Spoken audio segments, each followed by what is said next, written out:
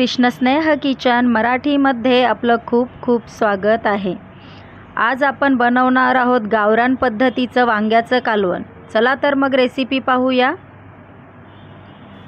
गावरान पद्धतीने वांग्याची भाजी बनवण्यासाठी वांग्यांना स्वच्छ पाण्याने धुवून असं चार भागामध्ये कट करून घ्यायचं आहे.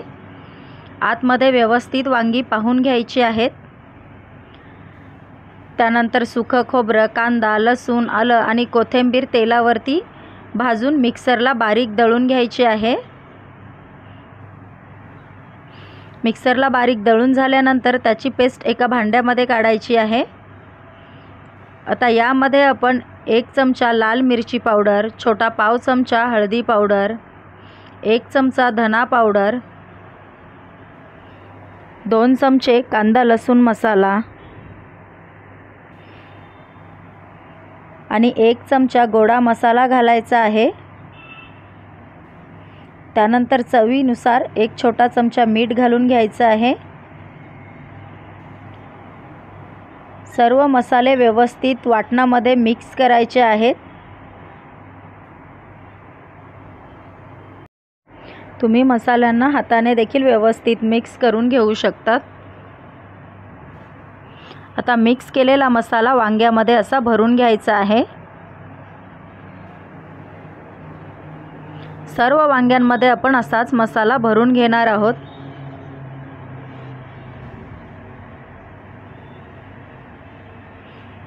सर्व मसाला वांग्यांमध्ये भरून झालेला आहे. काही मसाला आपला शिल्लक राहिलेला आहे. आता कढईमध्ये तेल तापत ठेवायचं आहे. मी दीड चमचा तेल तापत ठेवलेलं आहे.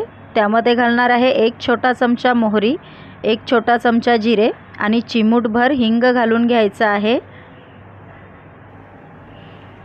जिरी मोहरी हिंग व्यवस्थित तडतडला की त्यामध्ये कढीपत्त्याची पाने घालायची आहेत.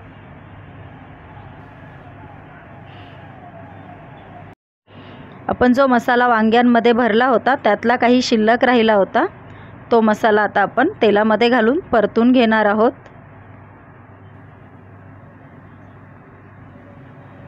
मसाल्याला थोडा वेळ परतवलं की यामध्ये आपण मसाला भरलेली वांगी घालून घेणार आहोत. आणि वांग्यांना देखील आपल्याला तेलावरती परतवून घ्यायचं आहे.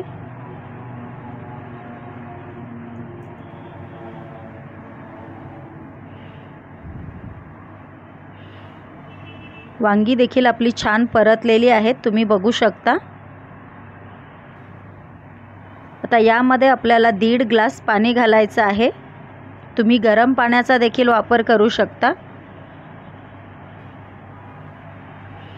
दीड ग्लास पाणी घालून व्यवस्थित मिक्स करायचं आहे.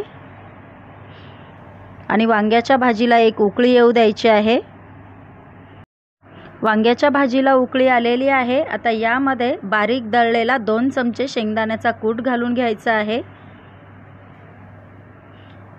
शेंगदाण्याच्या कुटाने भाजीला छान घट्टसरपणा येईल.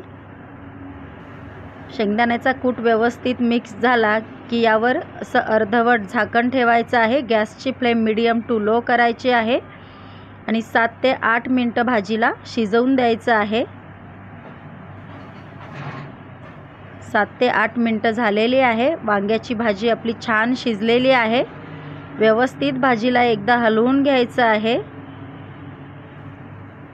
गॅस बंद करायचा आहे. आता यावर कट केलेली कोथिंबीर घालून घ्यायची आहे.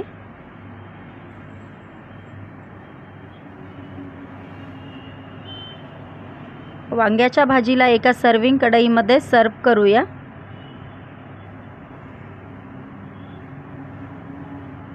खाण्यासाठी तयार आहे अस्सल गावरान चवीची चमचमीत वांग्याची भाजी. तुम्ही अशा प्रकारची भाजी एकदा नक्की करून बघा. रेसिपी आवडल्यास लाईक आणि सबस्क्राईब करायला देखील विसरू नका. आपण पुन्हा भेटूया अशाच नवनवीन रेसिपींसोबत. थँक्यू